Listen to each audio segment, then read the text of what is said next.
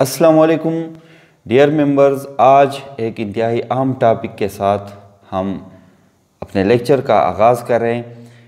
ये लेक्चर की एक नई सीरीज़ आज से हम शुरू कर रहे हैं परसेंटेज पे और इससे रिलेटेड जो दूसरे टॉपिक्स हैं, जैसे कि प्रॉफिट, लॉस, ये आपने देखा होगा कि अक्सर जो एन या जॉब्स के टेस्ट या एडमिशन के टेस्ट से हमारा सामना होता है। तो इसमें बेसिक मैथमेटिक्स में सबसे ज़्यादा एम इस सेक्शन से आते हैं परसेंटेज और इससे रिलेटेड टॉपिक से। तो ये बहुत ही इंपॉर्टेंट एक टॉपिक है और आपको बताते चलूँ कि ये बहुत ही एक कन्फ्यूज़न पैदा करने वाला टॉपिक है। आपके माइंड में इससे मुतालिक बहुत ही ज़्यादा कन्फ्यूज़न होती है और आप जब इसको सॉल्व करते हैं तो आप इसको अच्छी तरह सॉल्व नहीं कर पाते और आपका जो टेस्ट है, इसमें आपके मार्क्स कम आ जाते हैं। तो आज हम परसेंटेज का आगाज़ कर रहे हैं। परसेंटेज आज के लेक्चर में सिर्फ़ हम इंट्रोडक्शन पढ़ेंगे और फिर आगे जाकर इसको इंतहाई डिटेल के साथ बिलतरतीब फ्राम सिंपल टू कम्प्लेक्स की तरफ़ चलेंगे। आपको एक बात दूसरी भी बताते चलूँ कि हमारा, हमारे जो लेक्चर्स की ये सीरीज़ है, ये इन डी और इस जैसी दूसरे टेस्ट के हवाले से सिर्फ़ प्रिपरेटरी एक लेक्चर्स की सीरीज़ है। इसमें हम ज़्यादा बेसिक्स में नहीं जाते मैथमेटिक्स के बेसिक्स में, क्योंकि अक्सर जो कैंडिडेट्स होते हैं, उनका जो बैकग्राउंड होता है, वो आर्ट्स होता है तो उनके लिए ज़्यादा डिटेल या बेसिक्स में जाने से हम गुरेज करते हैं ताकि उनको भी ये आसानी से समझ आ जाए। तो आज हम परसेंटेज का आगाज़ करेंगे। सबसे पहले परसेंटेज से हमारी मुराद क्या है या इसके मानी क्या है? तो परसेंटेज का जो नाम है, ये परसेंट से निकला है। परसेंट्स तो परसेंट क्या है? आपने इंग्लिश में एक लफ्ज़ सुना होगा सेंट अगर आपने सुना नहीं तो गूगल में ये सर्च करके देख लें सेंट से मुराद हमारी हंड्रेड है। यानी हंड्रेड, सौ। पर से मुराद हमारी सौ के ऊपर या सौ में से ये आप ले सकते हैं। आपने इससे पहले फ्रैक्शन और डिसमल पे मेरे लेक्चर देखे हैं। अगर देख नहीं तो वो ज़रूर देख लें, क्योंकि इसके बगैर आपको परसेंटेज की समझ नहीं आएगी। प्लेलिस्ट में जाकर आप basic mathematics course N T का, वो ओपन करें तो उसमें सीरीज़ के साथ मैंने जो है फ्रैक्शंस और इसके बाद डिसिमल्स के जो लेक्चर्स हैं वो रखे हैं, आप वो लोग वो पहले देख लें, फिर आपको परसेंटेज जो की जो है वो समझ आएगी। तो सेंट से मुराद हमारी हंड्रेड पर से मुराद हंड्रेड में से हंड्रेड में से कुछ हिस्से हम ले लें। तो फ्रैक्शन में हमने ये पढ़ा है कि ये फ्रैक्शन बार यानी बटा, ये डिनोमिनेटर और इसके ऊपर जो नंबर हम लिखेंगे वो होगा नमीरेटर तो यहाँ पर फॉर एग्ज़ाम्पल हम टू लिख लें थ्री लिख लें फोर लिख लें तो ये हम इस तरह पढ़ेंगे. टू पर सेंट सेंट से मुराद सौ, पर से मुराद हमारी बाटा, और टू हमारा नमीरेटर जो है, इस तरह. थ्री पर सेंट फोर पर सेंट तो ऐसे फ्रैक्शन जिसका डिनोमिनेटर जो है वो हंड्रेड हो, ये बहुत ही ज़रूरी है कि इसका डिनोमिनेटर हंड्रेड हो वरना ये परसेंटेज में शुमार नहीं होगा। तो डिनोमिनेटर हंड्रेड हो नमिनेटर कोई भी हिस्सा हो सकता है, लेकिन इसका डिनोमिनेटर जो है वो हंड्रेड हो तो इसको हम परसेंटेज कहेंगे। यानी ऐसे फ्रैक्शन जिसका डिनोमिनेटर हंड्रेड हो, और ये आप इस तरह भी ले सकते हैं ये आप इस तरह भी ले सकते हैं फ्रैक्शन से मुराद हमारी जो है वो हम फॉर एग्ज़ाम्पल यहाँ पर हमारा एक फिगर है और इसको हमने हंड्रेड इक्वल पार्ट्स में तकसीम किया है। इस पूरे शक्ल को, चौकोर शक्ल को हमने सौ पूरे हिस्सों में तकसीम किया है। तो टू परसेंट से मुराद ये है कि आप इससे दो हिस्से ले लें। ये हमने कलर कर कर लिए, इसको रंग दे दिया है। तो इससे मुराद हमारी होगी कि हमने सौ में से दो हिस्से ले लिए। इसको हम कहेंगे टू परसेंट यानी पूरे सौ हिस्सों में से दो हिस्से। इस तरह थ्री परसेंट तो थ्री कर लें तो इसकी मुराद हमारी होगी थ्री परसेंट इस तरह four percent and so on तो आप लोगों को समझ आ चुकी होगी कि परसेंट से हमारा, हमारी मुराद क्या है। परसेंट से हमारी मुराद ये है कि सौ हिस्से हम एक चीज़ के कर लें और इसमें से जितने हम ले लें फॉर एग्ज़ाम्पल फाइव टेन या ट्वेंटी हिस्से हमने इसके ले लिए तो ट्वेंटी पर सेंट ये हमारी, हमारा परसेंटेज है। इस मुकम्मल फिगर का परसेंटेज हमारा जो है वो बीस हमने इसके हिस्से लिए हैं। यहाँ पर आप देख सकते हैं, बीस हमने हिस्से ले लिए। तो ये जो कलर्ड फिगर है, ये टोटल मुकम्मल शक्ल का कितना परसेंट है? इससे मुराद हमारी ये होती है परसेंटेज से। ये मुकम्मल फिगर है।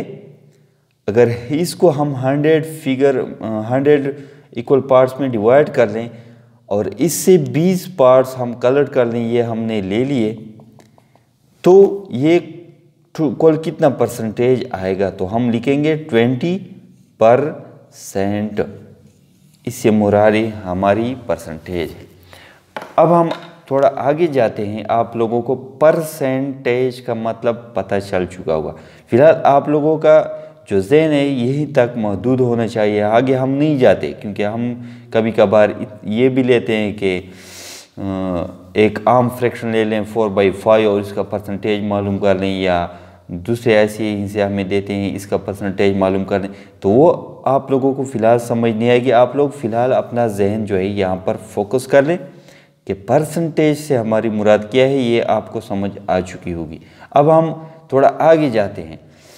यहाँ पर मैंने लिख लिया टू परसेंट इस फ्रैक्शन को हम इस तरीके से भी लिख सकते हैं। Two multiply by one over hundred इससे दोबारा वही टू और हंड्रेड आएगा। लेकिन हमें सिर्फ़ एक चीज़ की ज़रूरत थी, वो आप लोगों को समझाने के लिए मैंने इसे अलहदा कर लिया। ये दोबारा वही आता है, टू परसेंट। यहाँ पर अगर आप देख लें, one over hundred. One over hundred से हमारी मुराद ये है, ये फिगर इस साइड को अगर हम निकाल लें, फॉर एग्ज़ाम्पल ये हमारे पास हंड्रेड इक्वल पार्ट्स हैं, और इससे हमने ये एक जो है ये। ये पिकआउट किया, ये हमारे पास वन पर सेंट आ गया। इससे मुराद हमारी ये है जो अभी हम कर रहे हैं, यानी सौ में से सिर्फ़ हम एक हिस्सा जो है ये ले लें। वन पर सेंट दोबारा दोहरा रहा हूँ। वन पर सेंट इसको हम एक सेम्बल से रिप्रेजेंट करते हैं। जो असल में परसेंटेज का सैम्बल है। क्योंकि परसेंटेज के नाम से से ज़ाहिर है कि यहाँ पर हमने सिर्फ़ वन और टेन इससे मुराद है। फिर इससे आगे आप लगा सकते हैं टू परसेंट थ्री परसेंट और आगे। तो परसेंटेज के जो सैम्बल है, ये निशान है, ये आप लोगों ने देखा होगा। ये हमारे पास वन ओवर हंड्रेड के बराबर होता है। तो ये टू परसेंट इसको हम इस तरह भी लिख सकते हैं two multiply by one percent या इसको अगर हम सिंबल से रिप्लेस करें तो टू पर सेंट आप लोगों को समझ आ चुकी होगी कि ये निशान हम क्यों लगाते हैं? इससे मुराद ये है कि ये वन ओवर हंड्रेड के बराबर है। अगेन अगर इसको हम दोबारा परसेंटेज से फ्रैक्शन में कन्वर्ट करना, करेंगे तो ये इस तरह होगा टू और इससे आपने देखा होगा कि हमारा मुराद जो है वो वन ओवर हंड्रेड है। वन ओवर हंड्रेड ये दोबारा टू परसेंट आ जाता है। तो ये सिर्फ़ हमने सिम्बोलिकली इसको ज़ाहिर करने के लिए ये सिंबल हमने लगाया है। ये सिंबल आपको जहाँ भी नज़र आएगा, ये इसकी असल वैल्यू जो है, ये वन ओवर हंड्रेड या वन परसेंट के बराबर होगी। और जब भी आप लोगों को क्वेश्चन में बताया गया हो कि इस परसेंट को फॉर एग्ज़ाम्पल थ्री परसेंट को फ्रैक्शन में तब्दील करें तो इसका आसान तरीका ये है कि ये फिर हम हम आगे जाकर इस पर भी एक लेक्चर लेंगे कि कैसे हम इसको एक दूसरे में कन्वर्ट कर सकते हैं। लेकिन फ़िलहाल आप लोगों को सिर्फ़ इस सैम्बल के मुतालिक समझाने के लिए मैं यहाँ पर ये ले रहा हूँ। तो थ्री परसेंट से मुराद हमारा है three multiply by one over hundred वही वन ओवर हंड्रेड इसकी वीडियो जो है, ये कांस्टेंट ये तब्दील नहीं हो सकती। ये हमेशा आपके सामने जब भी आएगा, ये सिंबल आपका इससे मुराद होगा वन ओवर हंड्रेड या ये आ जाएगा three multiply by one three by hundred three percent ठीक है? ये हो गया आपका सिम्बोलिकली रिप्रेजेंटेशन यानी परसेंटेज के लिए हम जो सिंबल इस्तेमाल करेंगे वो ये होगा और ये वन और हंड्रेड या पर सेंट के बराबर होगा। परसेंटेज के मुतालिक मज़ीद अगर आप लोग समझना समझना चाहें कि ये, इससे मुराद हमारी क्या है तो इसकी हिस्ट्री में अगर हम चले जाएँ तो परसेंटेज का जो लफ्ज़ है परसेंटेज ये लफ्ज़ जो है, असल में ये इंग्लिश का लफ्ज़ ये लेकिन ये लेटिन वर्ड लैटिन यानी लातीनी ज़बान के एक लफ्ज़ पर सेंटम से निकला है, पर सेंटम इससे अखज़ किया गया है और इससे मुराद ये है आउट ऑफ़ हंड्रेड, यानी सौ में से कुछ हिस्से। वो आप लोगों को फिर मालूम होते हैं कि सौ में से तीन हिस्से, चार हिस्से, पाँच, पचास, पंचासी, अस्सी। ये हमारे पास परसेंटेज है। आउट ऑफ़ हंड्रेड से मुराद फॉर एग्जांपल हमने टू ले लिया two out of hundred two percent या two percent two out of hundred सौ में से दो हिस्से। तो परसेंटेज का जो लफ्ज़ है, वो परसेंटम से इस पर आपको एम भी आ सकता है बेसिक मैथमेटिक्स के कोर्स से। कि परसेंटेज का जो लफ्ज़ है, वो लेटिन लेटिन ज़बान लातीनी ज़बान के लफ्ज़ परसेंटम से निकला है और इससे मुराद ये है आउट ऑफ़ हंड्रेड आज का जो लेक्चर था, ये सिर्फ़ एक इंट्रोडक्टरी लेक्चर था, इसलिए इसको मुख्तसर करते हैं। नेक्स्ट लेक्चर में फिर हम मज़ीद डिटेल की तरफ़ चलेंगे चैनल से जुड़े रहें वीडियोस को लाइक ज़रूर करें ताकि हमारी थोड़ी हौसला अफजाई हो कोई आप लोग वीडियोस को पसंद कर रहे हैं।